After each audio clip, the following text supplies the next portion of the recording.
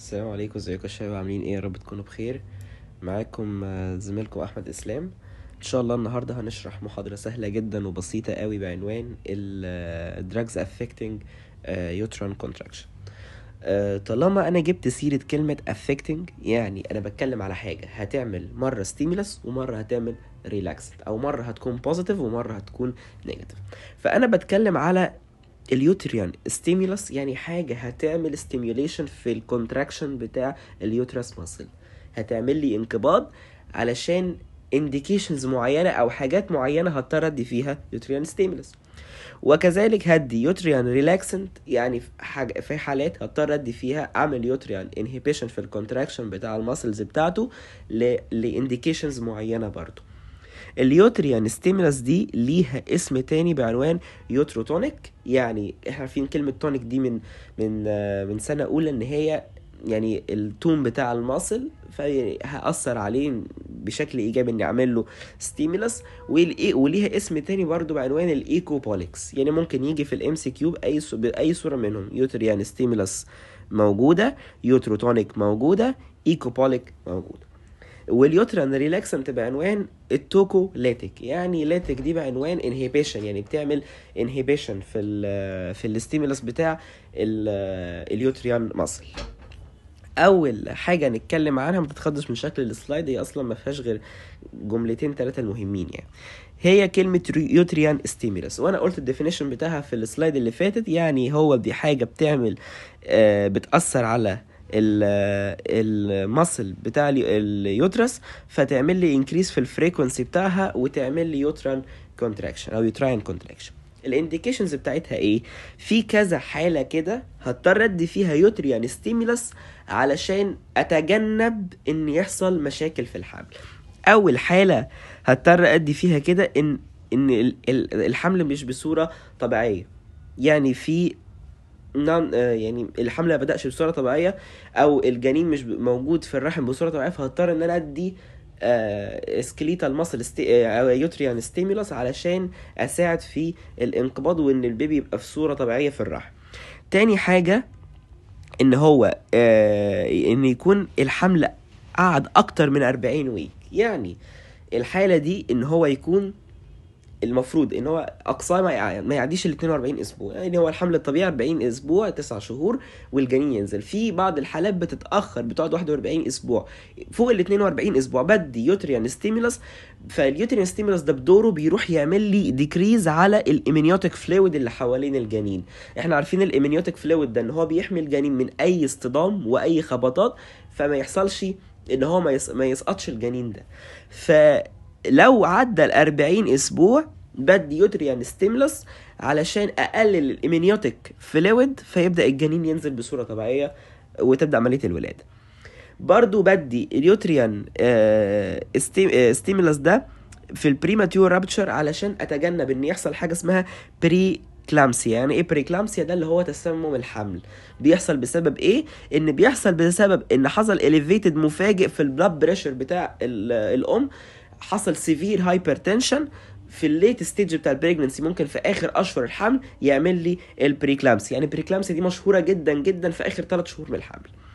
أو ال indication اللي ممكن أدي فيها برضو إن المريضة اللي تكون جاية حامل دي مريضة diabetes ف already أصلا ال contraction بتاع ال uterus عندها ضعيف لأن هي مريضة سكر.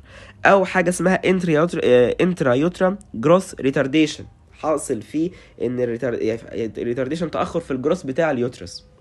فبضطر أدي uterine stimulus علشان يحصل normal delivery لل baby يوصل بصورة طبيعية. أو إن هو بدي uterine contraction ده following حاجة اسمها ال miscarriage أو يعني ممكن ال miscarriage ده أنا عايزك تفرق بين كلمة miscarriage وبين ال abortion. ال miscarriage اللي هو الإجهاض حصل بصورة طبيعية بدون أي تدخل لا من surgeon ولا من دكتور النسا إن هو يدي أدوية تعمل إجهاض. ال miscarriage ده إن هي ال- الأم بتصحى تلاقي إن الجنين نزل. خلاص دي حاجة يعني مش ب... مش بإيدها الجنين نزل. لكن ال abortion بقى ده برضو من الانواع اللي بناخد فيها ال uterine stimulus أو بندي فيها ال uterine stimulus علشان إن آه لو مثلا الأم دي مريضة سرطان فأنت هتضطر إنك تعمل حاجة إنك تعمل abortion حفاظا على إن ال- الأم دي لازم تتعالج ب anti-cancer وإحنا خدنا في المحاضرة الأولى إن ال anti-cancer ده يعني drug بي بيسبب مشاكل وبيأثر على الأم ما ينفعش تدي anti-cancer وهي حامل. فأنت لازم تعالج ال- الجنين ده لازم تعالج الأم دي. فهيضطر يحصل abortion للجنين أو إن ال... إن الجنين في الحمل فيه خطر عليها فالدكتور النسا بيضطر إن هو يدي أدوية أو آه، بتكون oral غالبا أو أو حقن أو أي حاجة تعمل abortion للجنين ده. فده الفرق بين ال abortion وبين ال miscarriage. أو إني بدي skeletal أو uterine برضو stimulus علشان أعمل reduce لل hemorrhage اللي ممكن يحصل بعد حاجتين يا ولادة طبيعية أو بعد الإجهاض. طبيعي. كمية الدم اللي بتنزل كتير ممكن تعمل نزيف مبالغ فيه. فبدي uterine stimulus أو uterotonic علشان آه، آه، أتجنب إن يحصل hemorrhage سواء childbirth الجنين اتولد بصورة طبيعية أو حصل abortion يعني إجهاض. ال types بتاعه ال uterine stimulus هم أربعة. مش هناخد منهم غير نوع واحد بس اللي هو ال oxytocin آه ال analogues بتاعته إن هو حاجة اسمها carbetocin ليه برضو أنواع تانية. prostaglandin misoprostol وال carboprost دول أشهر أنواع بروستاجلاندين اللي بيستخدموا ك uterotonic.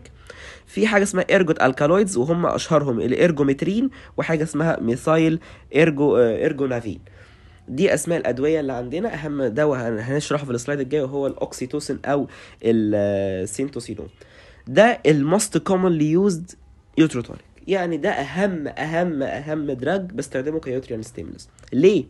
لأن هو الأكشن بتاعه يعني أكشن بجد قوي جدا على ال uterus وطلع إن هو ليه أكشن تاني على ال mammary gland.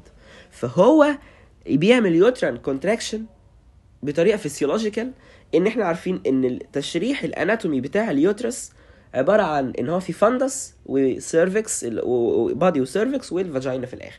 هو بيعمل contraction في ال fundus من فوق بيبقى عمال بيضغط على الجنين إنه ينزل وبيعمل relaxation في ال cervix فلو الحالة دي في تأخر في الإنج... في ال... في في عملية الولادة فال fundus عمال يضغط على الجنين ان هو ينزله وال cervix حصل فيه relaxation فالجنين هينزل بصورة طبيعية. ولقوا إن في برضه إن هو بيعمل contraction في ال myoepithelial cells اللي هي محيطة بال mammary gland فده هيعمل بصورة طبيعية. عمال أضغط أعمل contraction في ال myoepithelial cells اللي هي مسؤولة عن إنتاج ال milk فيحصل milk ejection يبقى ليه دور في عملية ال lactation وفي عملية ال labor عملية الولادة وال lactation دوره مهم جدا. ال therapeutic uses بتاعه إن أنا بدي الأول ال- من نص ل 2 milliunit في الدقيقة. وبتبدأ تزيد تدريجيا من بعد نص ساعة لحد ساعة لحد ما أوصل لل physiological contraction pattern اللي هو إيه؟ إن يحصل contraction في ال fundus و relaxation في ال cervix أول ما هوصل للنقطة دي ببدأ أوصل لل maximum infusion بتاعه اللي هو 20 milliunit في الدقيقة وببدأ بعديها أوقف الدواء. آه برضو إن هو الدواء ده ال therapeutic use بتاعه إن هو بيساعد إن ال breast ين- ينزل milk أثناء عملية ال lactation وبيعمل control قلناها في ال slide اللي فاتت في ال postpartum hemorrhage إن هو بيمنع إن يحصل نزيف. ال side effect بتاعه إن هو لو اتاخد أثناء before ال labor أو الولاده بطريقه مش صح ممكن يعمل rupture في ال uterus ويعمل fetal distress ال fetal distress دي يعني إن هو إن الجنين بيبقى نازل نفسه. بيتنفس بصورة مش طبيعية أو إن حصل distress في النفس بتاعه. ال high doses بتاعة ال uterine stimulants دي ممكن تعمل fluid retention فطبيعي طالما حصل retention هيحصل hyponatremia وال hyponatremia دي هيحصل بعد فترة للأم دي ممكن يحصل لها heart failure بسبب حدوث stimulation لل vasopressin 1 receptor وإحنا عارفين إن الفازوبريسين أصلا يعني آه vasoconstrictor فلما هيحصل لل receptor بتاعه stimulation ممكن يعمل heart failure إن هو بيزود ال يعني الحمل اللي بيبقى على القلب فممكن يعمل heart failure طيب إيه بقى ال contraindications إحنا عرفنا ال indications بتاعت ال uterine stimulants إيه ال contraindications اللي ما ينفعش اطلاقا أدي فيها uterine stimulants أو ecbo أو آه، ecbolic إني أدي إن الحالة اللي قدامي تكون cephalopelvic disproportion يعني إيه cephalopelvic disproportion يعني إن الجنين حجم راسه الجمجمة بتاعته أكبر من ال pelvis بتاع الأم. فطبيعي مش هدي uterine stimulants أكيد وأبقى عمال بضغط على الجنين فممكن من كتر الضغط ده الجمجمة يحصل فيها يعني تصطدم بال pelvis وممكن الجنين ينزل عنده بعض التشوهات في, في راسه أو عنده بعض المشاكل في ال central nervous system فأنا بحاول أتجنب الموضوع ده إن أنا ما أديش uterine stimulants أو إن هي recent previous cesarean section يعني إن هي كانت عملت عمليات cesarean الولادة الأولى كانت cesarean فأكيد مش هدي uterine stimulants تاني إن هي ما ولدتش بصورة طبيعية.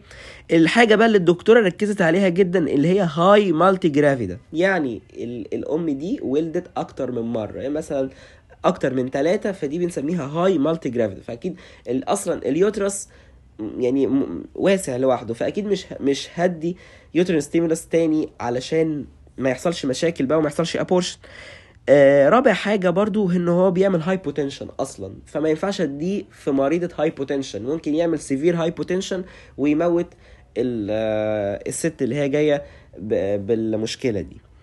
بعد كده دخلنا في النقطة التانية وهي ال skeletal أو ال uterine relaxant يعني إيه uterine relaxant يعني اللي هم بيعملوا inhibition في ال contraction بتاع ال muscles بتاعت ال uterus. ف بيتاخد إمتى بقى؟ أكيد أكيد هدي يا إما أنا هبقى عايز أتجنب إن يحصل إجهاض أو إن دي عملية هيحصل عملية ولادة مبكرة. يعني premature labor هعمل لها suppression هوقفها. إزاي؟ بإني هدي tocolytic أو uterine relaxant ال indications بتاعته قلنا إن يحصل premature birth أو threatened abortion أنت كدكتور آه، ودي بيحددها طبعا دكتور النساء بتكون متأكد إن هيحصل abortion هيحصل إجهاض. لازم تدي uterine relaxant عشان ما يحصلش إجهاض. ما يبقاش في ضغط كتير على الرحم ينزل مثلا الجنين في الشهر الرابع. كده خلاص حصل abortion بسبب ال ال ال ال ال ال contraction اللي بيحصل في ال muscles بتاعت ال uterus. أهم أنواع ال uterine relaxant ال beta 2 agonist اللي هم بيعملوا stimulation لل beta 2 receptor ال calcium channel blocker ودي خدناها بالتفصيل في module ال cardiovascular system. ال oxytocin receptor antagonist يعني اللي هو. إحنا عارفين ال oxytocin أصلا stimulant uterine stimulant فلما أنا هدي له فهدي ال antagonist بتاعه فأنا بوقف عمل ال oxytocin فطبيعي هيكون في شغل ال relaxant هو اللي موجود. آه آخر حاجة إن هو non-steroidal anti-inflammatory drugs وال indomethacin دول بيعملوا relaxant كده المحاضرة تكون خلصت أتمنى إنكم تكونوا استفدتوا وإن شاء الله تكون سهلة جدا بالنسبة لكم.